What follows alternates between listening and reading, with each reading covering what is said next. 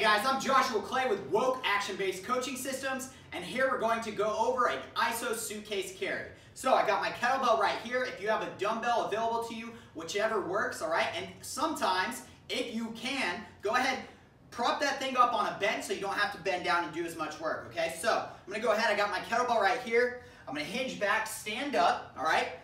We're gonna do is I'm gonna make sure that I'm trying to resist because of the position of the weight. It's wanting to pull me to the side, okay? So we wanna make sure that we use our obliques and the rest of our core to resist flopping to the side. So focus on maintaining a straight spine, keep your glutes locked in, and we're keeping this weight away from our body. We wanna make sure that we're not just kind of letting it hang right here, okay? So pick a weight that we're able to keep away from the body and maintain a nice straight spine.